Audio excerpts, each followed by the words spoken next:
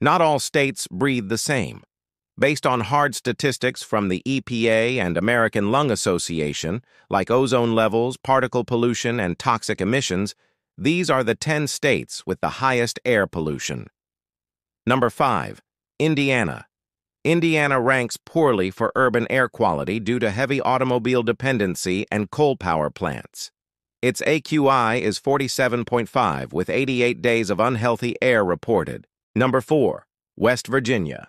West Virginia's air pollution comes mainly from coal and power plant emissions. The state's AQI of 47.6 leads to 31 unhealthy air days per year, and pollution also affects neighboring states. Number 3. Ohio. Ohio shares the second worst AQI with Georgia at 48.2. Industrial emissions in cities like Cleveland and Cincinnati result in 88 days of unhealthy air each year. Number 2. Georgia. Georgia struggles with the highest average PM 2.5 levels nationwide at 8.9 micrograms per cubic meter. Wildfires, vehicle emissions, and coal power plants, especially near Atlanta, contribute to these high pollution levels. Number 1. Utah.